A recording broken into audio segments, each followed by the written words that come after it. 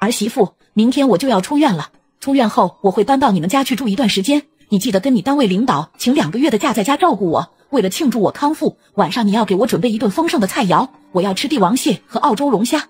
好的，住宿费每个月一万，伙食费每个月三千，你先付给我，还有我请假的工钱你也给我算上，一个月一万五千。你说什么？让你请两个月的假期回来伺候我，你还管我要钱？我可是你婆婆，我不管你要生活费就不错了。如果你觉得请两个月假有问题，那你就辞职，或者请保姆照顾我。你脑袋被门夹了吗？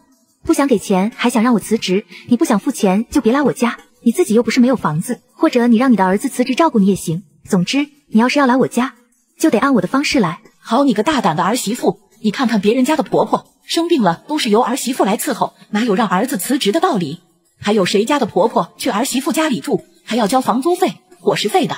这要是传出去，还不得被人笑掉大牙？这是你自己的定的规矩，你可不要忘了，是你让我们家实行 A A 制的，什么事都要算清楚。你可不要忘了，现在这个房子是我爸妈给我买的陪嫁房。房子跟你们一点关系都没有。现在你要过来住的话，就得按照规矩来，把房租费交了。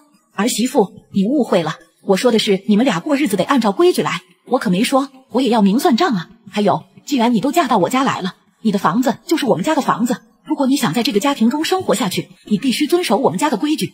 此外，你的工资也要交给我保管，每个月只给你留二百块零花钱，家里的一切开销都要向我汇报，这是为了防止你以后大手大脚乱花钱。老太婆，你还没睡醒吗？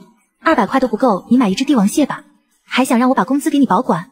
你可真会做梦啊！连一晨都没资格碰我的钱，你又算老几？好你个目无尊长的儿媳妇，我不过是想去你们家小住一下，你非但不答应，还敢变着法骂我，我对你非常失望。我这就给我儿子打电话，让他来好好教训你。说完，婆婆就拨通了儿子的电话，把事情夸大其词的描述了一遍。奕晨一听，顿时火冒三丈，立刻给婉晴打去电话。婉晴，我妈只是来我们家住几天，你收她什么钱啊？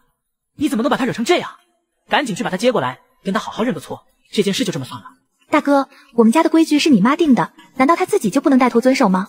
婉晴，我妈这么做也是为我们好，我们是夫妻，应该平等付出。我妈吃的盐比你吃的饭还多，你就听她的没错。你都三十多岁的人了，怎么还那么听你妈的话？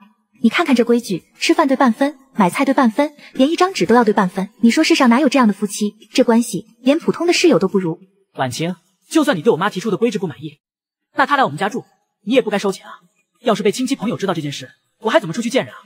你赶紧给我妈打电话道歉，不然你就给我滚回你的娘家！没有错，为什么要给她道歉？正所谓一份付出一份回报。如果去年我生病的时候，你妈来照顾过我，我现在自然乐意接她来咱们家养老。可他从来没为我做过任何事，反而成天惦记我的工资，我凭什么要无偿伺候他？